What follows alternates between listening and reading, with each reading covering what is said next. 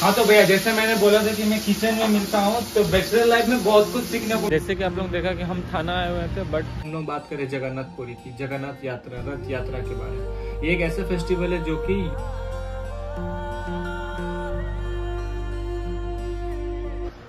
लो जी नया सवेरा और सबको आपको मेरी तरफ़ से वेलकम है नए ब्लॉग में और डेली ब्लॉग का सीरीज़ बहुत ही फाड़ू चल रहा है मतलब अलग लेवल का। और आज जो आप देख रहे गंजी वाले में तो जाते हैं, पहले नहा वहा के आते हैं और सबको मेरी तरफ़ से पहले जय जगन्नाथ। आज है रथ यात्रा से हार्दिक हार्दिक शुभकामनाएँ और जय जगन्नाथ। तो इसी के साथ आज के ब्लॉग को अपने हैशटैग के साथ स्टार्ट करते हैं नहा धोआ के। तो वेलकम है गाइस वंस अगेन तो नहा धोआ के हम आ गए फुल फ्रेश पावर में। आप बोल रहे हो कितना जल्दी गए कितना जल्दी आए यार वीडियो कंटेंट क्रिएटर है तो टाइम समय मेरे साथ चलेगा। बस आप लोग प्यार भर भर के दिखाओ मेरे वीडियोस पे और फ्रेश होते। और आज बहुत सारा काम है और आज जगन्नाथ पुरी में जगन्नाथ मेला भी है, रथ यात्रा भी है। तो कोशिश करेंगे कि आज हम जाने का। इससे पहले दो बातें उनके ऊपर। ताइए लोकेशन चेंज करते हैं।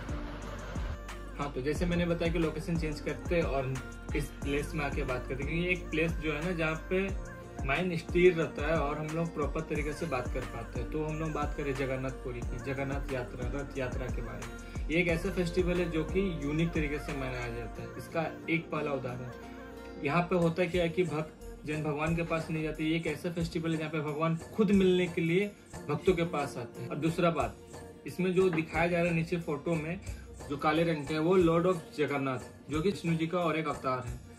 और इनको बगल में जो दिखाया जा रहा है, वो है सुभद्रा, उनकी जो बहन है। और इधर साइड में जो दिखाया जा रहा है, वो है बलराम जी, जो उनका भाई है। और ये तीसरा पॉइंट तीसरा पॉइंट ये है कि ये जो पूरी है ना, चार धामों में एक धाम है।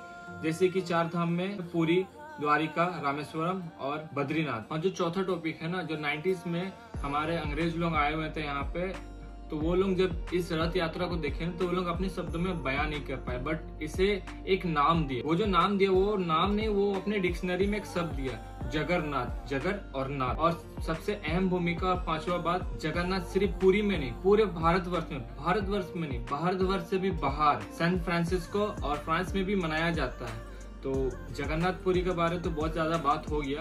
बट डेली ब्लॉग है तो इसी के साथ डेली ब्लॉग को हम स्टार्ट कर रहे हैं। आज का दिन इतना पावन और शुभ है तो इसी के साथ आज का ब्लॉग, डेली ब्लॉग स्टार्ट भी कर लिया। और बात कुछ ऐसा है नहीं कि आज अगर बारिश ना हो तो आज रथ यात्रा में मज़ा नहीं आता। क्योंकि जितने भी भक्तजन होते हैं ना, वो पसीने से तरबदर और थके हुए रहते हैं। और आज के दिन बारिश होता ही होता है। तो जैसे कि बाहर में चलो मैं दिखाता हूँ, बारिश कैसा हो रहा है। हेलो जी, जैसे मैंने बताया था थोड़ा देर पहले कि जगन्नाथ पूजा है आज और रथ यात्रा है और आज बारिश ना हो, ऐसे कोई थीम ही नहीं बनता। तो इन बारिश में सबसे कुछ सिनेमैटिक शॉट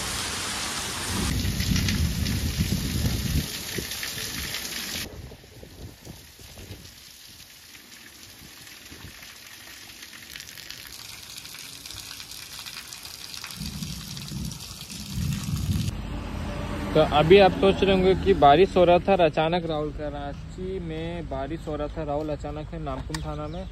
और ये देखो, कुछ काम है डॉक्यूमेंट्री तो उसको करते हैं, फिर आपको यहीं पे मिलते हैं। जैसे कि आप लोग देखा कि हम थाना आए हुए थे बट है कुछ काम, वो ऑफिशियल वर्क वगैरह पेपर का करना है।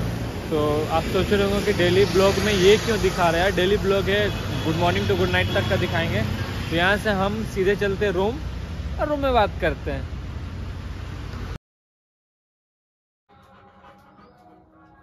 भाई, अभी पंखा उल्टा घूम रहा था बट अभी सीधा घूम रहा है। और अभी हो चुका है गुड इवनिंग हम थाना से आ गए हैं और बात कुछ ऐसा है कि गए थे कुछ अपने पर्पस काम पे। जाने वाले कुछ लोग। तो आते आते बेड में पड़ गया और लाइट भी आया। बहुत बहुत खुशी है। फ़ोन को चार्ज करते हैं। थोड़ा देर के बाद फिर आपसे बने रहते हैं।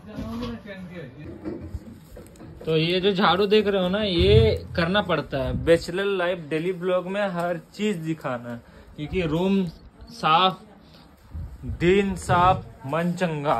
मतलब साफ़ सुथरा मोस्ट इम्पोर्टेंट है झाड़ू देते हैं।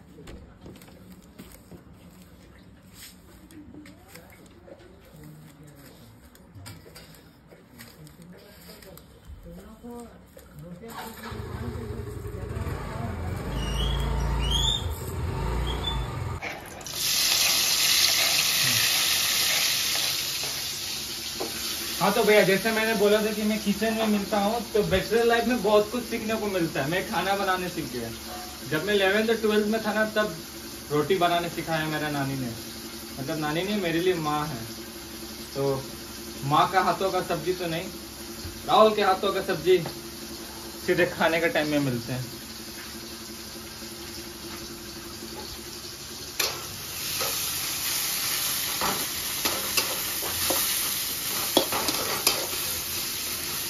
तो जैसे कि मैंने बोला कि चले खाने के साथ मिलते हैं बट खाना बन रहा है। देखो। अच्छा देखो।